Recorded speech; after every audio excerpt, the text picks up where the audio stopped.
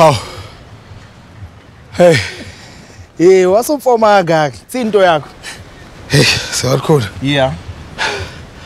Wena bewayini la. Hawu madoda, angisakwazi ukuvele ngize la ngase beach ngizozigijimela nomntaka baba. Uzungenza ingane bosi. Mina nawe siyazi ukuthi ukuvocavoca kuzona into zakho. Sophodla. Shawa yini? Ungazi kahle. Into engibeka la mfoka baba ile tender lele sililwelayo njengamanje. 250 million. Ukuthi supply nje furniture kulabo masipala labo basondelene nathi la. 250 what? 250 million. And ngifuna wazi ukuthi la ekhaya sikaze sibe nethende elingana naleli.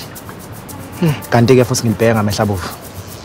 Ngifuna ukuthi leli tender leli libe sezandleni zethu sobabili. Okay. Usukhulumile nobaba wena ngayo yonke lento le. Yeah. Ngizamela ukukhuluma naye. Mase Ngimtshelile ngathi isikhathi sokuthi ahlale phansi manje.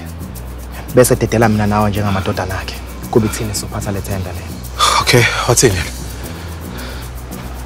Ish. Ah, athekele ukuthi avumanga eh. Yazi ukukhuluma naloya muntu loyana kufana nokugqoma idwala. Uvela wangivalela ngaphandle nje kwangathi akayizwa yonke lento engishoyo. Ah, kodwa come on nawe vusi mfethu. Angazi indaba leli xa ngoba phela amazi ukuthi umuntu onjani. And ngiyamazi baba. Ilento engibeka la.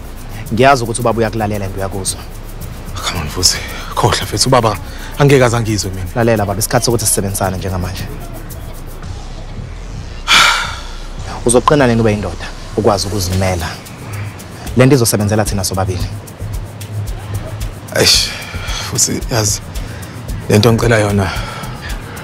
Ok- Okay. Fine. Uzoyenza? Ngizozama.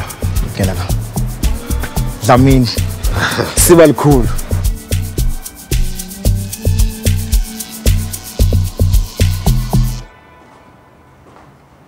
uyi ho Bekusokhaba la?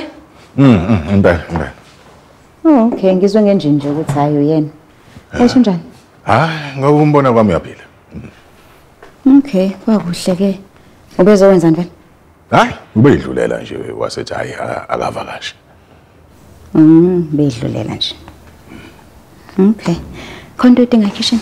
Hayi cha cha. Oh, oh, kodwa kukhona udaba engifisa ukuthi ngixoxe nawe. Okay. Um, awusho nkosikazi.